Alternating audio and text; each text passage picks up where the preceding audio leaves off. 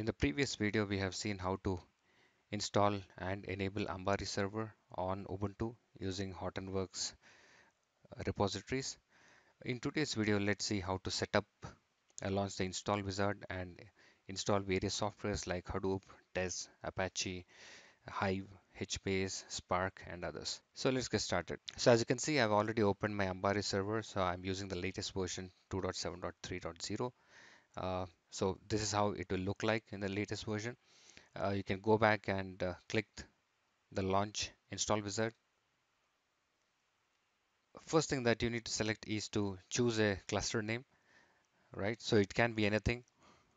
I'll just give my Hadoop cluster.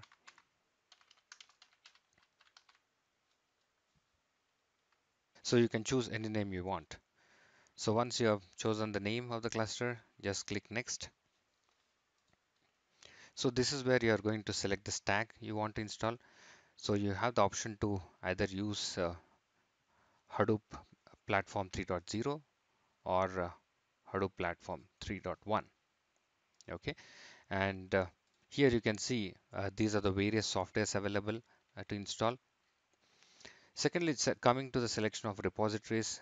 By default, it's going to a public repository. Otherwise, if you have everything downloaded onto your local system, you can also give a local repository. Okay, so for my uh, demo, we are going to use the public repository. So you don't have, need to change any of the URLs here. Uh, just keep them by default. Hit next.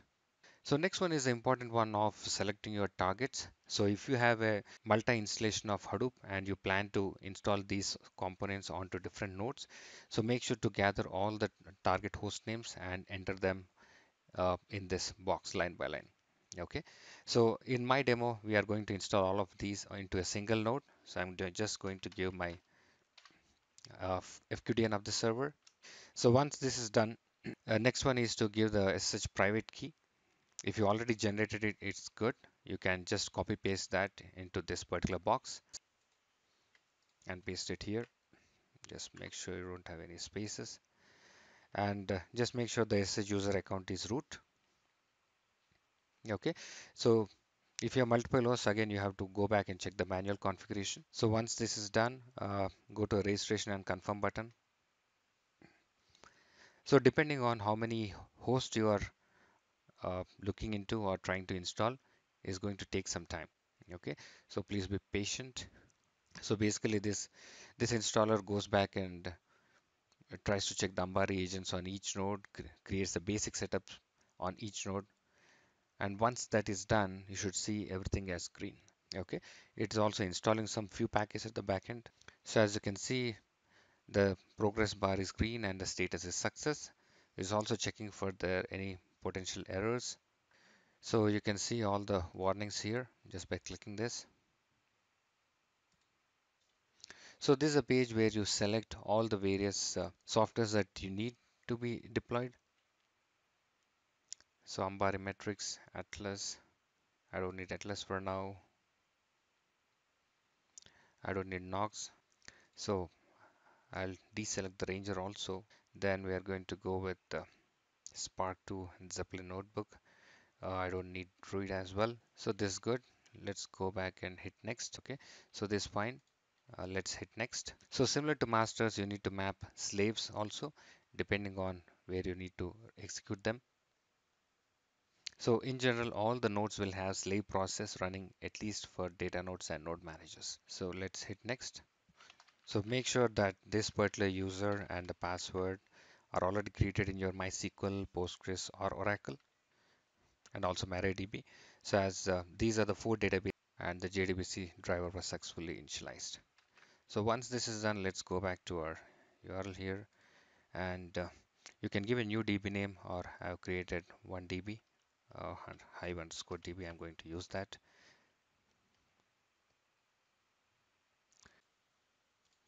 Okay, so as you can see now, uh, my test connection was successful. MySQL d.conf. So it's already open here. So what I've done is I've changed the bind address to uh, IP number to the server name. Okay, so uh, if you want to figure out where the problems were, there you need to check these log files where lib Ambari agent and data. So in this, you just need to pick up the latest error file, open it. So, okay, so there's no error. Let me open my previous error file here. So as you can see here, it clearly says that it's not able to connect.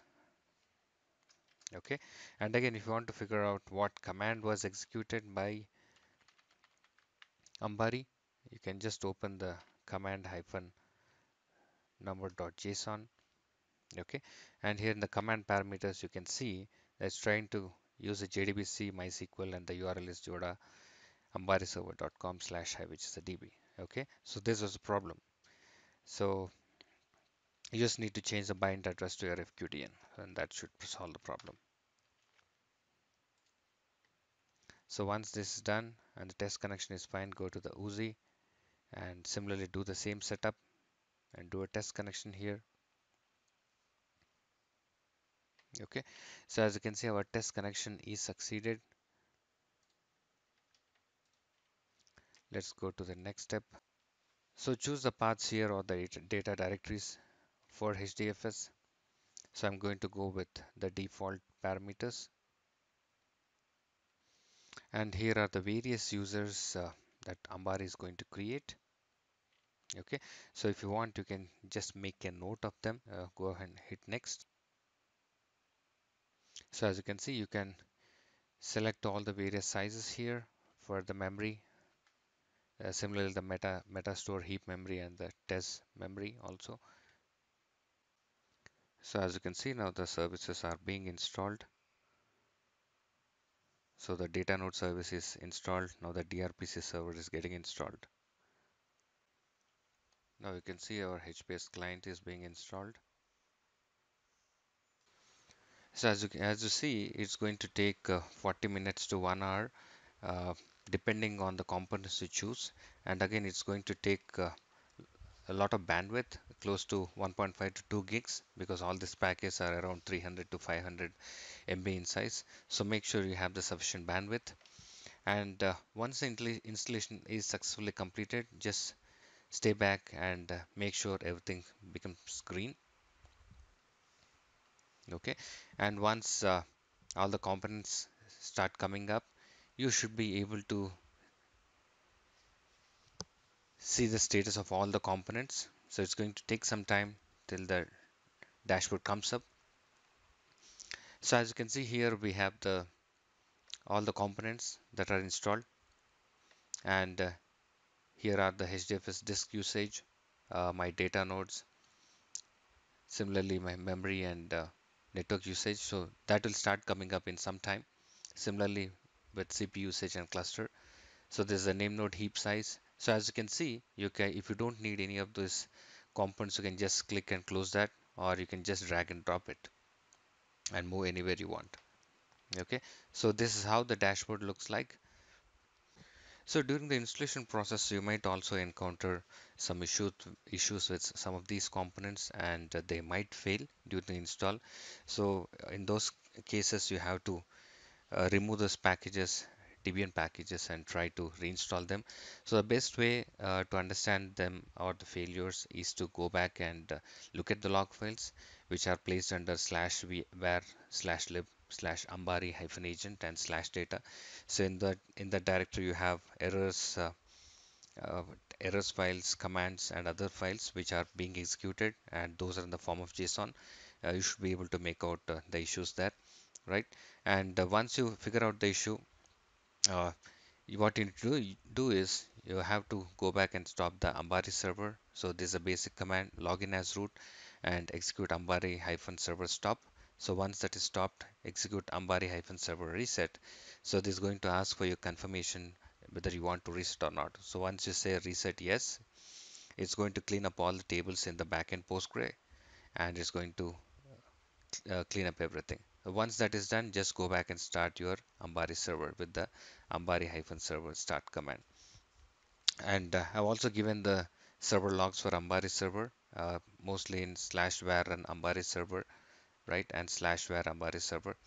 And similarly, agent logs. Uh, uh, so I missed the slash var. So it's slash var, sorry, slash run Ambari agent uh, slash var log Ambari agent.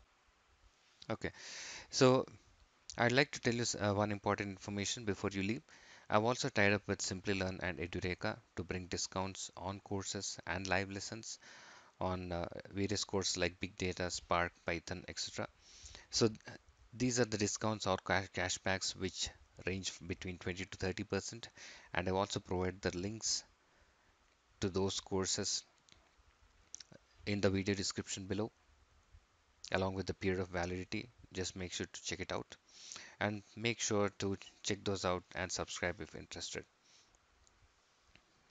So if you like these videos please share those with, the, with your friends and also don't miss out to subscribe